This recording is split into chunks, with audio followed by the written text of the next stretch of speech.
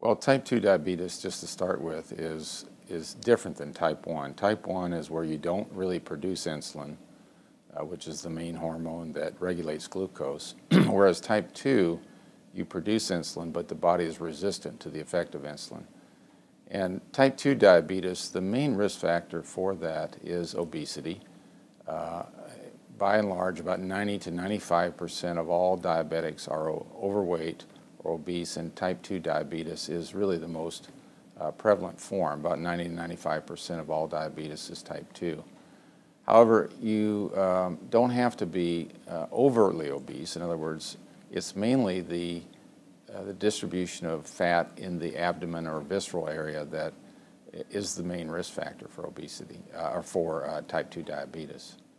Tom Hanks, as I understand it, uh, has actually improved his diabetes with weight loss. And now he's pretty slim, and I think his diabetes uh, control has been improved. And that's typical of most people with type 2 diabetes. When they exercise and lose weight, their uh, control of their diabetes improves.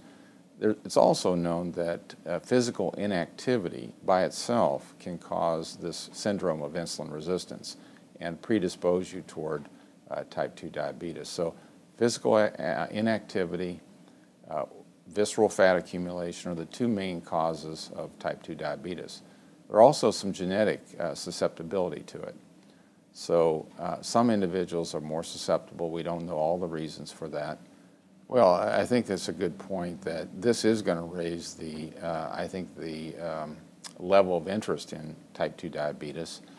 And uh, people began, as they get older, uh, to lose muscle mass, began to uh, develop visceral uh, fat accumulation.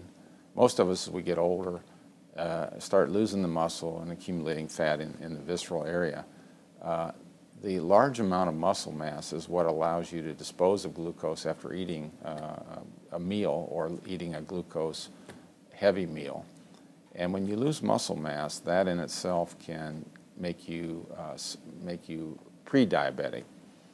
So what we need to really think about is, you know, getting screened for diabetes, getting screened for glucose uh, intolerance. Uh, there's a test, simple test, where they'll give you a glucose load uh, 75 grams of glucose orally.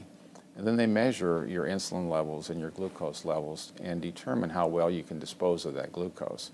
Well, I think it's great that he, that Tom Hanks has really uh, stepped forward. And David Letterman, on the David Letterman show, as I understood it, uh, also pointed out that he had trouble with glucose control. I think that this uh, uh sort of indicates to people that you don't really have to be yeah, really obese in order to have a risk for diabetes. Uh, diabetes now affects uh, something like 26 million people in the country, and most of them are type 2 diabetic. We used to call that adult onset diabetes, but now we're seeing this in children. So I think the fact that uh, folks like David Letterman, uh, Tom Hanks, who come out and talk about their uh, difficulty in controlling their glucose is really going to make people more aware that anyone who is physically inactive, uh, older individuals and many other individuals uh, are going to be facing the, the possibility of pre-diabetes and then later development of diabetes.